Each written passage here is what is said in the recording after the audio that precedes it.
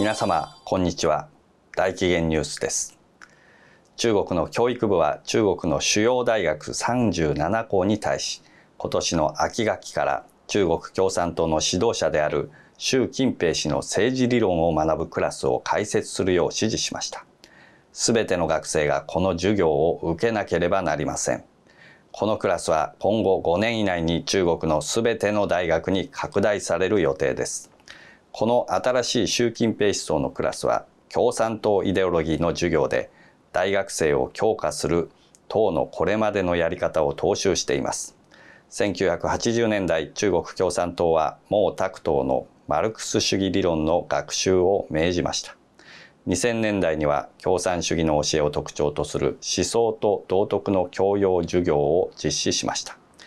中国の専門家の中には今回の指示は習氏が重要な政治会議を控えて権力をさらに強化していることを示すものだと見る人もいます。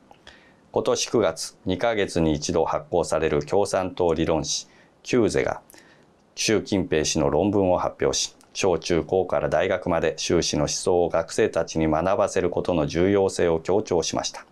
同氏はその後習氏の政治思想である習近平新時代の中国の特徴を踏まえた社会主義思想の入門講座を大学に義務付けるという教育部の新たな決定をしました。中国共産党の指導者は皆自分の思想を打ち出し党憲法に祀られます。マルクス主義を専門とする学部を持つ北京大学清華大学南海大学その他のトップ大学34校は2020年秋にこの授業を開始しました。南海大学は9月6日の記事で習近平思想とマルクス主義との関係習氏の歴史学に関する思想習氏の中国の発展目標など習近平思想の授業内容を紹介しました。清華大学はウェブサイトで授業は12週間に及び全ての教材は習氏の演説に基づいていると紹介しました。中国の宗教の自由と人権について報道するオンライン雑誌ビターウィンターは6月。中国の高校や大学が修士の演説を学習するよう学生に要求し始めたと報じました。同報告書は中国東部の山東省出身の大学生の話を引用して習近平思想のテストに合格できなければ大学の卒業証書はもらえないその結果党に入ったりいい仕事を見つけたり昇進するのは非常に難しくなると伝えましたアメリカを拠点とする中国問題評論家の唐清遠氏は中国共産党は10月26日から29日まで北京で開かれる第5回全体会議で中国の次の5カ年計画を策定し次期党指導者の候補者について話し合う予定だが習氏は党幹部の自分への忠誠心を確認しているようだと述べました。習近平氏は最高指導者の地位を固めたいと考えているようだと党氏は話しました。2017年に開かれた前回の党大会で習氏は後継者の名前を挙げませんでした。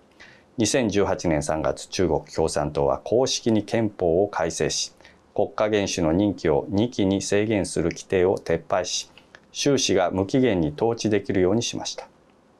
習氏は後継者を指名する予定はなく党指導者の地位を維持したいと考えていると党氏は分析しました当氏はまた新卒者の失業率が高いことから習氏は学生たちに確実に党の方針に従わせたいと考えていると述べました。学生たちが卒業後に就職できなくても抗議しないように習氏は学生たちに自分の哲学を学ばせようとしていると思うと党氏は付け加えました。習氏は最近権力強化のための動きを見せています。9月28日習氏は北京で会議を主催し中国共産党中央委員会の職務規則を発表しました。中央委員会は党のエリートで構成された組織です。国営新華社通信は職務規則には習近平は中央委員会の中核だと明記されており党は職務規則に従わなければならないと報じました。これらの職務規則を作成することで習氏は規則が有効である限り自分が党の指導者であり続けるというメッセージを発信していると党首は話しましたアメリカシンクタンク戦略国際問題研究所 CSIS が10月14日に発表した世論調査でアメリカ国民は中国の脅威から日本台湾を含むアメリカ同盟国と友好国を守るために大きなリスクを冒す用意があることが分かりました。米中政策の未来をマッピングと題する同調査は8月に実施されました。対象者はアメリカの一般市民からアジア太平洋地域の経済政治に詳しいソートリーダーまでが含まれています。調査は1リスクを冒さないから10重大なリスクを冒す価値があるまでの10段階の選択肢が設けられました。中国からの脅威にさらされた場合、同盟国とパートナー国を守るためにかなりのリスクを冒す用意があるとの質問項目について、アメリカ市民は国別で韓国6.92、日本6.88、台湾6.69、オーストラリア6.38などと示し、平均で6以上のスコアとなりました。また、南シナ海の無名の同盟国またはパートナー国は6.97となりました。一方、同質問についてアメリカの総動リーダーはより高いスコアを示しました。日本8.86、オーストラリア8.71、韓国8.60、台湾8.60の順となりました。南シナ海の無名の同盟国またはパートナーは7.12で平均で7以上となりました。ボイス・オブ・アメリカ VOA によると専門家はアメリカ市民の台湾に関する認識が大きく変化したことに驚いています。CSIS の中国問題専門家であるボニー・クレイザー上級研究員は昨年シカゴ国際関係会議が行った調査では中国軍が台湾を軍事攻撃する場合アメリカ政府の軍の派遣を支持したアメリカ市民は35%でした1年経った今台湾に関するスコアは他の同盟国とほぼ同じになったと述べました中国による脅威が日増しに強まっているほかアメリカ人の台湾に関する認知度が高くなっていることが原因にある。特に台湾は中共ウイルスの感染拡大防止に成功したと述べました。グレイザー氏は今回の世論調査は次の政権の台湾政策方針に大きな影響を与えるとの見解を示しました。同世論調査によるとアメリカ国民の大半は中国を否定的に見ており中国がアメリカにとって最大の課題であると考えています。また、ハイテク分野における懸念事項について、71%のソートリーダーがアメリカの 5G 網から中国移動通信大手のファーウェイやその他の中国企業を排除することを支持しています。VOA によれば、同世論調査の一般市民向け調査は、アメリカの成人市民1000人が対象となり、8月初めにネット上で実施されました。また、ソートリーダー向けの調査は8月4日から31日まで行われ、安全保障、経済、人権問題などの専門家や政府機関の顧問など2700人を対象に行われ、410件の有効回答を得ました。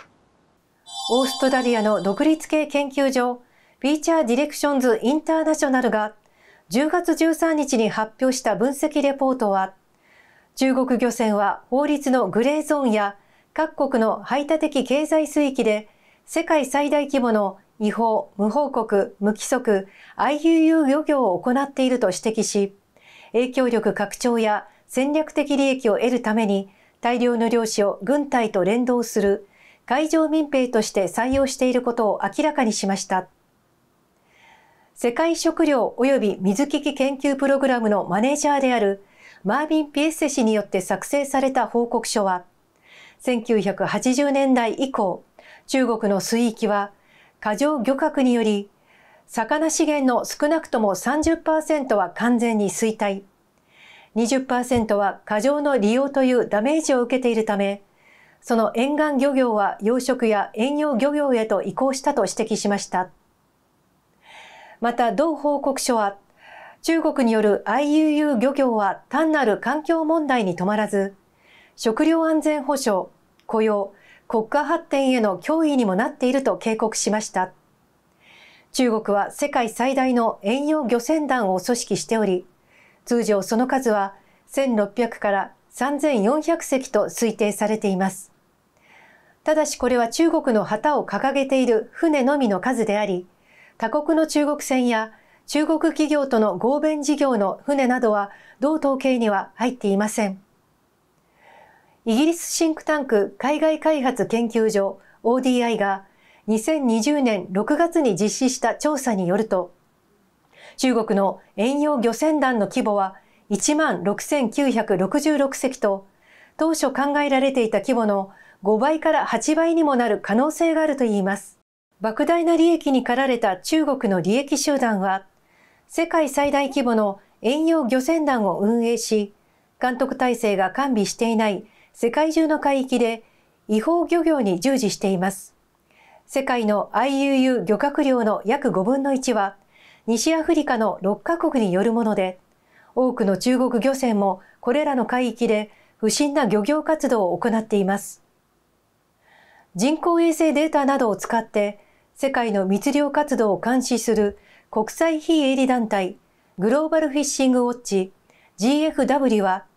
2017年北朝鮮の漁業権の取引を禁止する国連の制裁決議が採択された後でも中国の漁船は北朝鮮水域内で操業活動を続けている。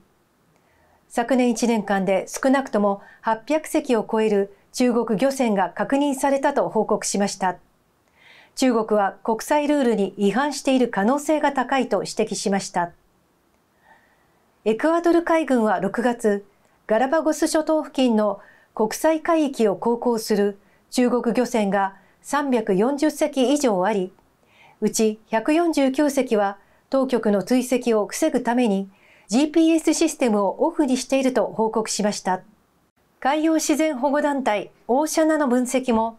数百隻の中国漁船は1ヶ月間に7万3000時間も同地域で操業活動を行い、アザラシやハンマーヘッドシャークなどの死を危険にさらしている。さらに同地域の食物連鎖を破壊し、地元漁業資源減少の一因となる可能性もあると指摘しました。2017年にもガラパゴス海洋保護区で絶滅危惧種を含む270トンの漁獲量を積んだ中国漁船が拿捕されました。中国の破壊を止める時が来たとポンペオアメリカ国務長官は今年8月、エクアドルへの支持を表明し、北京に持続不可能な IUU 違法漁業を停止するよう要求しました。エクアドル海軍によると、長年エクアドルの排他的経済水域付近を徘徊していた中国漁船は、今年9月下旬にペルーとチリの水域へ向かったと報じました。中国の漁船団は単なる商業問題だけではなく、北京の権力の投影でもあり、また戦略的優位性を競う役割も果たしています。何十年もの間、中共は大量の漁民を募り、彼らに対し広報支援、情報収集、監視、偵察、妨害工作などの軍事訓練や政治教育を行い、巨大な海上民兵組織を編成しました。同組織は海洋における中国の国益促進や南シナ海及び東シナ海における中国政府の戦略的目的のために動員、または軍隊と連動して展開する第三の海上戦力と呼ばれています。報告書では中共の海上民兵組織の正確な規模の把握は困難であると述べました。中国政府系イギリス紙チャイナーデイリーは2016年2月、中国当局は地元の漁師で構成された海上民兵の戦闘能力の向上に力を入れていると報じました。それによると14年に4回、15年には7回もの海軍演習を行ったほか、3年間で250回以上の海上作戦を行ったとのことです。報告書はアメリカナショナルインタレスト紙の報道を引用して、長年グレーゾーンの間で操業する中共の海上民兵を荘園のない戦争と形容しました。海上民兵隊は現在、東シナ海や南シナ海で活動し、インドネシア海域での違法漁業の関与も告発されており、この第三の勢力は世界から非難の的となっています。同報告書は中共の海軍作戦地域の継続的な拡大に伴い、海上民兵隊はさらに遠くまでその活動を展開する可能性があると警告し、増え続ける魚類への需要やその野心を支えるために、北京は今後もその営業漁団を容認し続ける可能性があると指摘しました。欧州連合 EU 加盟国のキプロス政府はこのほど、同国の外国人投資移民プログラム、ゴールデンパスポートを11月1日から廃止すると決定しました。今年8月、海外メディアが同プログラムの悪用問題を取り上げ、中国共産党の高官や中国人富豪らが密かにキプロスに移住したと指摘しました。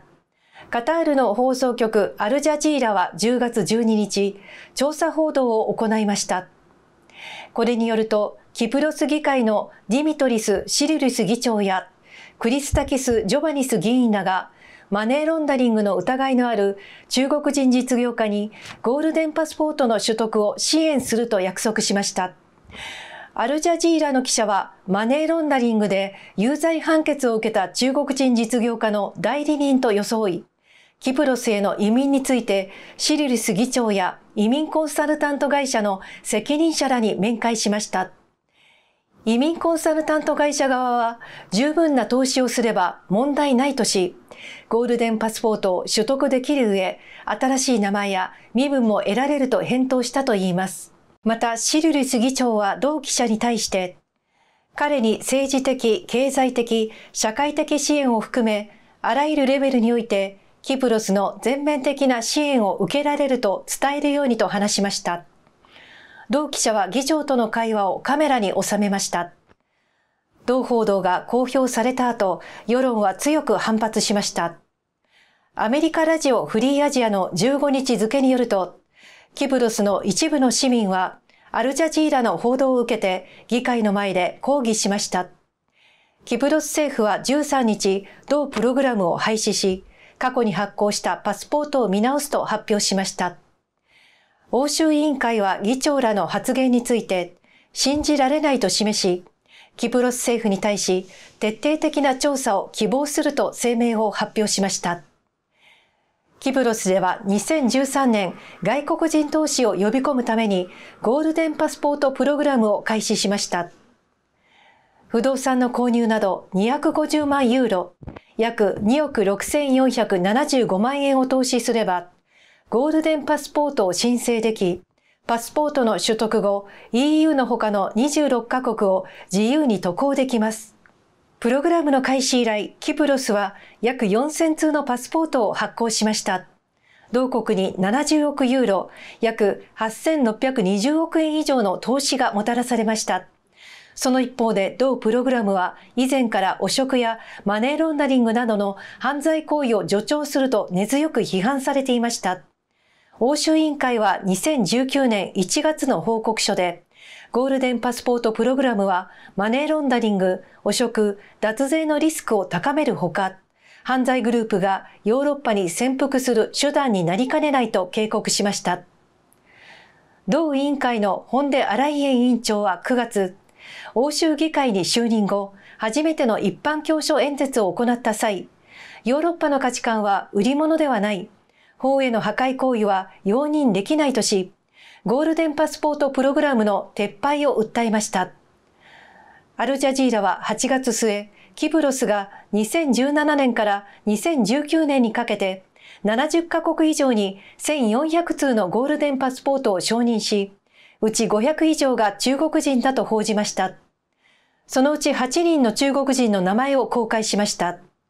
中にはアジア一の女性富豪で、中国最大の不動産開発会社、碧海園の創業者の次女の楊経験氏や、四川省生徒市人民代表大会メンバーの陸文賓妃など複数の中国高官が含まれています。